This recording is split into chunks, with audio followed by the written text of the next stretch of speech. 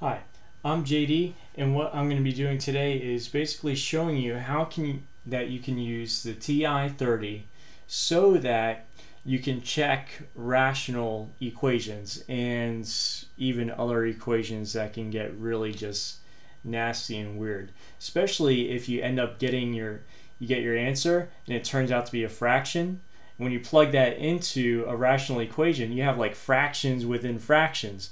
And sometimes, you know, you have x's in the numerators, you have x's all over the place. It's a it's a crazy just mess. So, let's say that you did all your work, you get x equals 1. Now you want to check your answer. I mean, you could plug it in, you know, uh, find a common denominator, do all those things and then see if both sides are equal. You can do that. That's perfectly up to you. Or you could simply know how to use your calculator. So I would just recommend using your calculator if you're able to use it anyways. So might as well take advantage of it. So what you want to do when you type when you're doing the calculator, you want to use there's going to be mainly two buttons. Uh, store or STO, and memvar. Memvar is going to have all the variables in storage. So first you have to store them.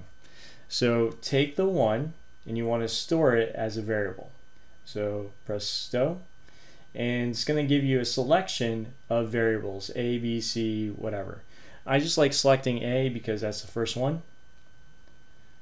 So now you have that. So one is stored as A. So wherever there's an A, it's going to replace it with a 1. So clear? Now I'm going to type in one side, I'm going to type in the other side. So 3 divided by parentheses, and wherever there's an X, I'm going to replace with an A. Now in this case, it'll be easy to plug in 1. But again, what if you have like a two thirds? Or what if you have like a seven fifths or, or something even crazier? And plus, there's always human error, and there's human error two parts.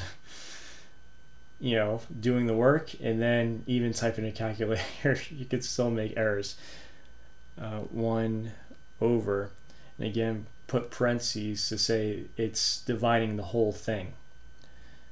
So a uh, minus 2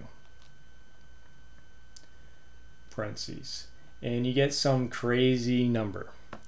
And so you could write it down. That's probably what you should do.